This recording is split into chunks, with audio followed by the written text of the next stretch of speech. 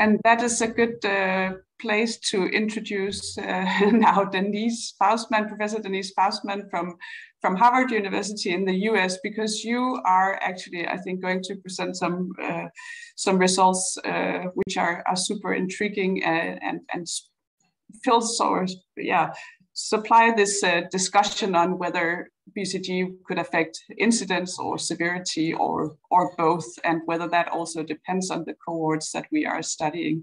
So it's a great honor to introduce uh, Denise to all of you and her presentation of the BCG trial that she was ahead of doing uh, when, when COVID-19 came, uh, because she had already randomized a lot of people to BCG or no BCG. Denise, the floor is yours. Okay, thank you. Yes, when COVID um, took off, uh, Christine was the first one to call me and she said, Of course, you're monitoring for COVID. I go, Yes, we're in at the FDA. We're trying to get this permission. So, this trial is very different than the other trials you're going to hear about uh, today because it's in the US population. BCG has never been used in the US. Uh, so, these are 100% uh, people that have uh, never seen BCG. And also at the time of the original enrollment of the first trial, uh, we're all screened for um, by the T-spot test to have never had tuberculosis. So this is a very naive US uh, population that also um, are all type 1 diabetics that have increased susceptibility to infections overall. So um, very different than the South African study and the Danish study and other studies we heard about. US population never vaccinated, US population uh, screened for negative for TB. This is a double-blinded placebo-controlled trial. And at the start of the pandemic, why Christine called me is she knew what we had already uh, randomized in this uh, double-blinded phase two, phase three trial um, people receiving three uh, BCG vaccines uh, for the metabolic effects, off target effects, and diabetes. So they had been vaccinated exactly uh, during a time period two years prior to the pandemic. You'll see that's really relevant to the data we'll show you later on. This is a full FDA oversight and audited clinical trial. Um, all data was analyzed by independent data safety monitoring board, and it's classified by the FDA as a phase two, phase three clinical trial. So um, here are the differentiators and really the lessons uh, we've learned the hard way in autoimmunity over the last three years and uh, why this trial was uh, designed in the way it was in all the trials in autoimmunity, whether it's in type 1 diabetes or the trials in Italy uh, with Dr. Ristori in multiple sclerosis, for the clinical effects to occur, and of course, the clinical effects in diabetes are a lowering of hemoglobin A1C and a change in use of uh, glucose. In MS, it's neuroregeneration and less relapses. It takes two to three years from the initial vaccines to the clinical outcomes. So for us working in autoimmunity, our trials are always five years long in order for us to see that inflection point. So uh, this data similarly is designed for the COVID-19 outcome as these people were vaccinated over the three-year, two-year time period before COVID um, appeared in the US. The other lesson we've learned in autoimmunity in uh, trial after trial after trial is that single dosing is almost uh, never effective and that multi-dosing is more effective. I guess that's the same lesson they've learned in bladder cancer. So uh, for all our trials in humans as well as old-fashioned mouse studies in autoimmune mouse studies, you have to give greater than two vaccines to see a favorable outcome. So we always multi-dose in these trials, especially in the US population where everybody's uh, BCG and tuberculosis uh, negative. And the other hard lesson we've learned in autoimmunity, again from clinical trials, is the BCG strain makes a difference. Um, I don't often talk about it, but there were trials using the Merck Tice strain many years ago uh, in Canada and the US and in Europe, they totally failed. But uh, using the Moreau strain in, uh, in Israel, they saw a signal. And then subsequently, um, both the Pasteur and the Japanese strain um, in Italy and the US have shown great efficacy. So the three lessons we've learned in autoimmunity is one, it for naive adult patients, it takes two to three years for the epigenetic imprinting to occur for the clinical outcome. Uh, we need multi-dosing and um, also BCG strain uh, makes a big difference. So we were uh, kind of set up for COVID uh, when COVID appeared. Um, so uh, this crowd is uh, very educated on uh, BCG differences, but I just present them. Um, you have to be careful of which BCG strain you're using. Certainly there's been double uh, blinded randomized trials, uh, many of them in bladder cancer, um, comparing different uh, strains head to head. and Japan BCG always seems to win. And at the bottom of the pile is the Tice strain. Um, also, other um, uh, studies by other people looking at the basic science of these strains, again, seeing uh, these strain differences in efficacy, often measured by uh, TNF secretion. So we have many trials going on here uh, at the MGH uh, for um, uh, type 1 diabetes, and also, as many of you guys now know, uh, uh, phase two trials for Alzheimer's as well. So um, the trial we had going uh, when Christine called me was obviously our phase two randomized double-blinded placebo-controlled trial in people with long-term type 1 diabetes, but with no complications. Um, so that group was already being studied for all infectious diseases because of the work of many people here on this call. So we already were collecting uh, infectious disease incidences. So we needed to go back to the FDA to uh, buttress that with COVID-19 um, uh, collections. Um, um, and again, um, the off-target effects um, in uh, type 1 diabetes that impact metabolism as well as the immune system um, take many years to occur if you want a clinical outcome, not just a biomarker outcome. Um, and that uh, the, the rather dramatic uh, decrease in hemoglobin A1Cs in pure uh, juvenile onset diabetics or on the right in multiple sclerosis. Again, three years for the clinical outcomes to get clinically significant. Um, this is um, the changes in methylation that buttress uh, in naive cohorts why we have to wait so long. This just happens to be, as everybody on this call knows, uh, Tregs are induced in the site of the tuberculous uh, granuloma. And uh, what we see systemically is also the Tregs gradually being restored back to normal by the demethylation of these central signature genes and note how they keep demethylating through year three to almost get back to normal levels of expression. And uh, this is also uh, well studied now for FOXP3. In autoimmune diseases, there's overmethylation of uh, FOXP3. It doesn't matter whether it's rheumatoid arthritis or type 1 diabetes. And uh, the time course for multi-dosing BCG vaccines and an impact on the promoter of the FOXP3 gene is really uh, three years out. And that's what correlates with clinical outcome. So this was the uh, trial that was ongoing. Uh, when COVID broke out. It was a double blinded randomized clinical trial in people with juvenile onset type 1 diabetes, but with about 15 years duration of the disease.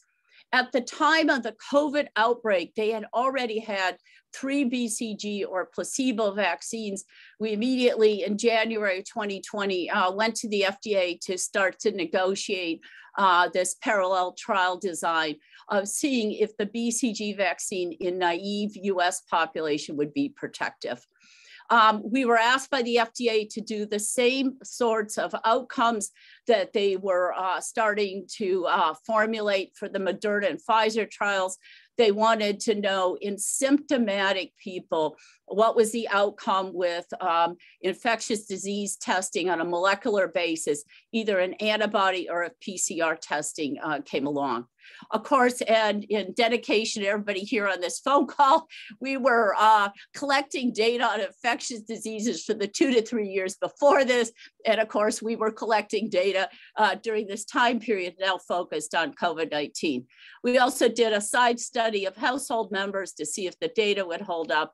And then the trial was completed prior to anybody getting a COVID-19 vaccine.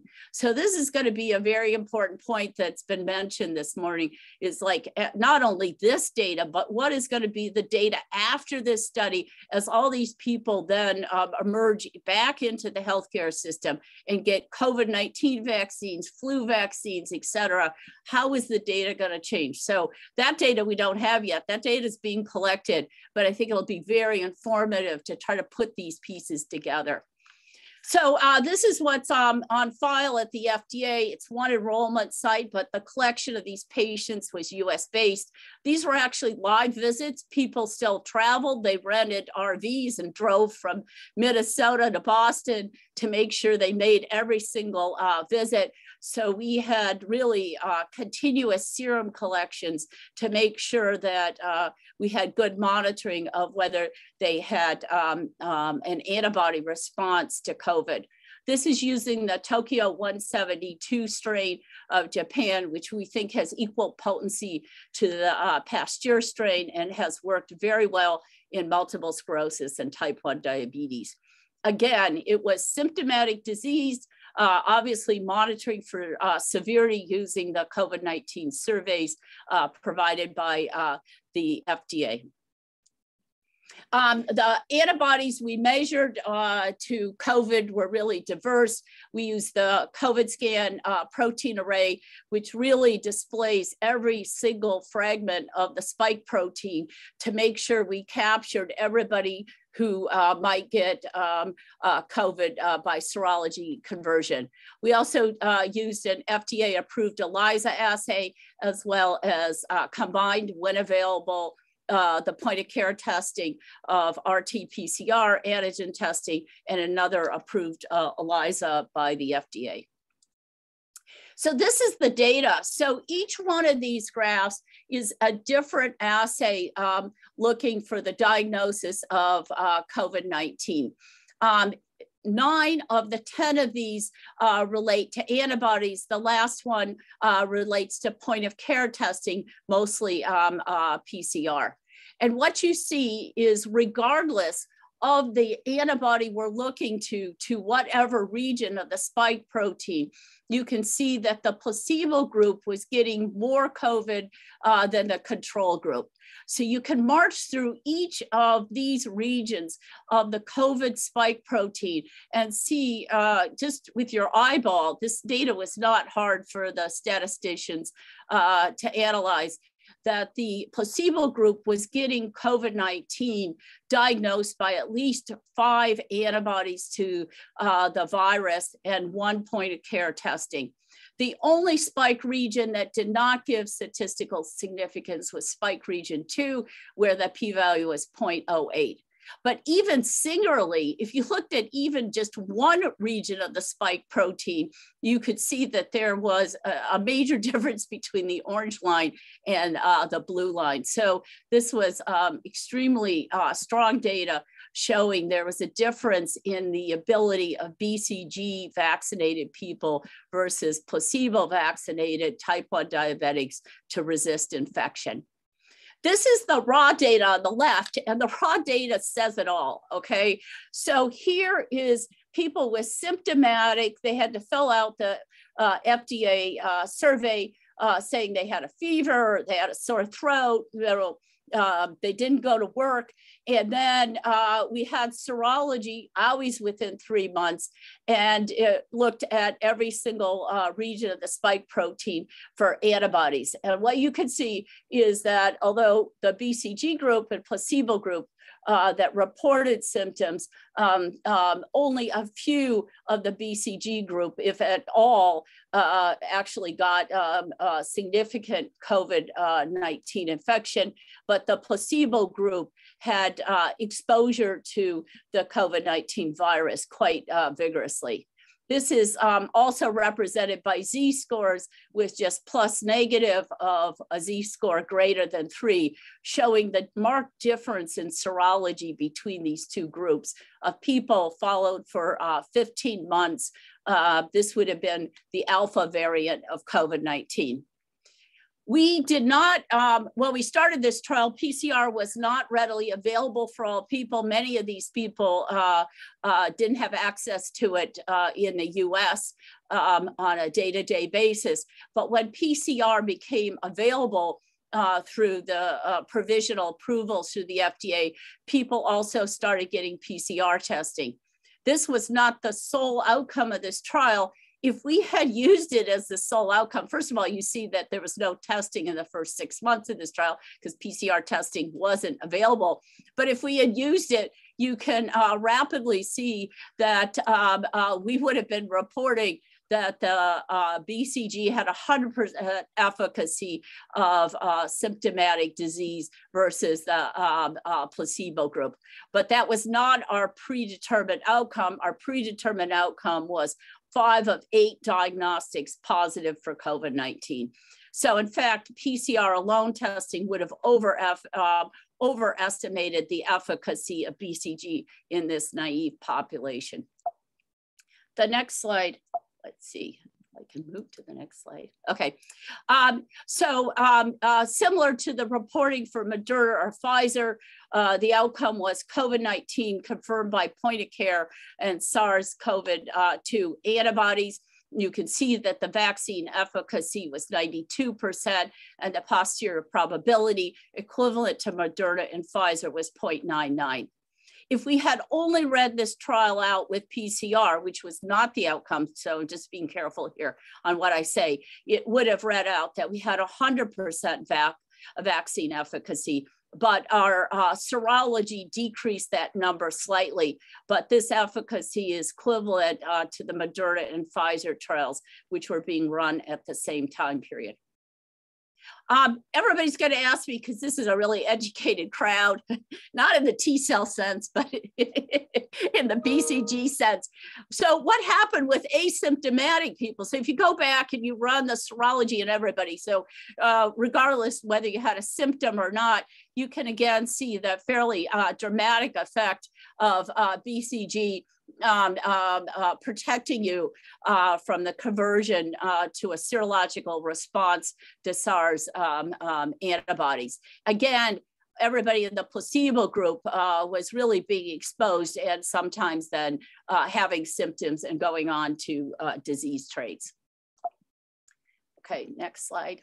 Okay, so everybody wants to know about overall infectious disease protection. Uh, it's kind of a missed uh, fact, but people with autoimmunity have intrinsic uh, defects, uh, per, uh, making them more susceptible to infections. Uh, it's not related to glycemic control, it's present throughout their disease. So, this is an interesting population to do these trials in.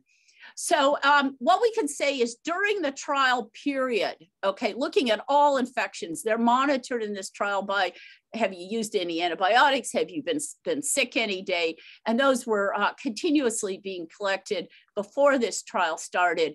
Uh, but during this trial period, you can see over the 1.5 years that the cumulative infectious disease rate was uh, definitely more beneficial uh, for less infection in the BCG group than the placebo group. But what's really important is remember, these people were in a pre-trial period of 30 months getting their multiple BCG vaccines before COVID came. So now if you look at the protection from infectious diseases during these first 30 months, you do not see a statistical difference between these two groups. And this buttresses the finding that in naive subjects that are now just getting exposed to BCG, it takes a while for these effects to occur. Um, and so we do not see infectious disease protection in the pretrial 30 month period, but we see um, uh, good protection from overall infectious diseases. And I can provide you a list of what those hits were. Um, but uh, certainly the BCG group is lower during the uh, later part of this trial. We also monitored, according to the FDA, the um, average workdays missed, the infectious disease index, all those parameters that have now become fairly standardized for these trials. Therefore, the conclusions from this trial in this uh, phase two, phase three double-blinded randomized trial show that three BCG vaccines provided 93 to 100% efficacy from protection from COVID. This was with the Tokyo BCG strain. This is in a time period where they were not receiving any other vaccines. They were receiving multiple doses of BCG over the pre two year time period um, it protected from symptomatic and asymptomatic COVID. And the infections to COVID were confirmed by two methodologies, uh, point of care PCR testing when available, as well as uh, serology defining the entire spike protein. So overall, this uh, uh, uh, regimen in these naive patients showed uh, infectious disease protection, but only after uh, a two-year time period. So uh, that's my story on BCG. And of course, this presentation on this call because I'm probably one of the few non-infectious disease doctors um, on this trial. But we're more than happy to monitor multiple outcomes in this trial. And we were just uh, very fortunate to have this randomization done to capture this uh, unique period in the US population. Thank you. Thank you so much, Denise. You're a firecracker always, and, and once more did it uh, show us some some amazing results, which we unfortunately have very little time to discuss. We need to move on with the next presentation, but there are questions in the Q&A for you to uh, answer maybe, and, and otherwise we'll take them up in the panel discussion. Uh, we have now finalized five presentations on BCG vaccine, and they have heterogeneous results, as we will see, and, and we have the Greek trial and your trial showing protective effects against COVID-19 and overall, and, and, and three other studies which are uh, less positive and also suggest interactions. And I, I, think you just threw in yet another uh, potential effect modifier, which is the, the time of follow-up and maybe the six months that all of us went with uh, during our trials was really too short to actually capture the effect. So I think that's that's an extremely important message we got here.